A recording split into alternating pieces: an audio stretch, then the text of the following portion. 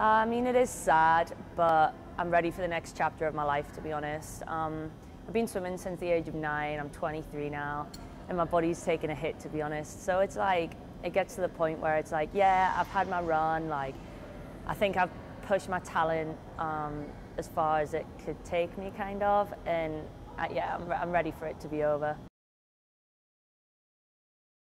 Um, I mean, yeah, I did enjoy America. It's been really fun and it's an experience that I couldn't really replace. But um, yeah, I'm, I miss my home. I miss my home. I miss my family and everything at home and my boyfriend and stuff. So I'm ready to go home.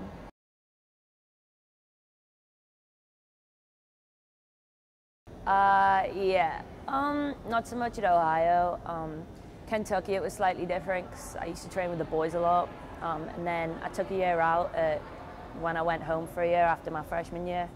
Trained with men, so coming in, coming onto an all-girls team was a bit of an adjustment. Um, you have to get used to taking everybody else's feelings into account and like no one yells at each other kind of thing.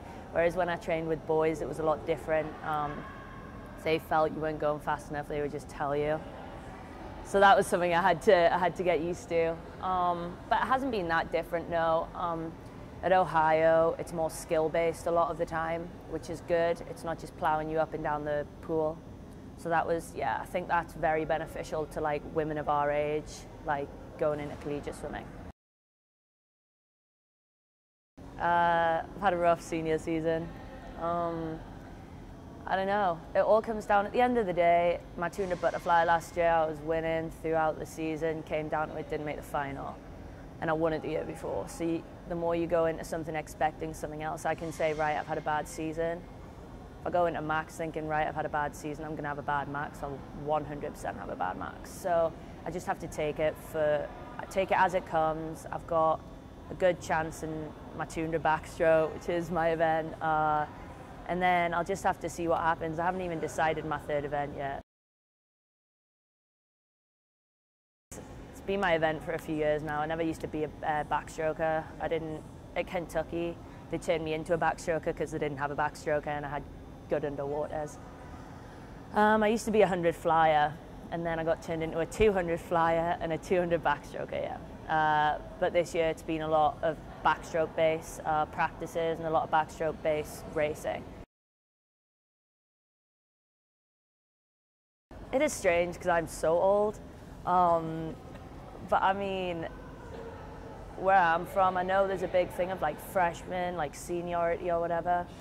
Where I'm from, like as soon as you turn 18, you're an adult and you get treated like an adult, and I'm not going to treat you like a kid. I think a lot of the girls respect that.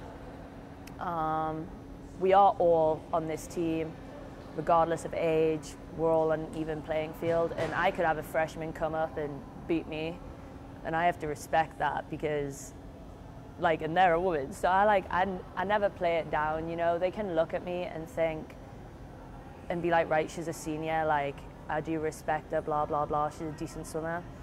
But I'd much rather they remembered me as like somebody who could lead them and like help them do stuff.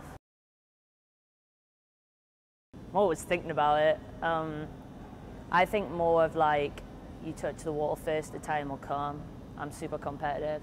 So I could go like, I could knock eight seconds off my PB, but uh, if I come like eighth, I'll be like, oh, doesn't matter. If I put time on and I came second, I'd be upset as well. So I'm just trying to get a medal at this point, try and do as best as I can, you know. With a rough season, it's all you can ask for. It's exciting. It's better than not being in the record books. But I'm not going to underestimate this team. I think that Rachel's a very good recruiter. Um, hey, my record might not be up there next year. I don't know. But whatever. It's been up for two years. I don't care. my favourites was uh, first time I competed for Britain, or first time I got onto my British team, that was probably better.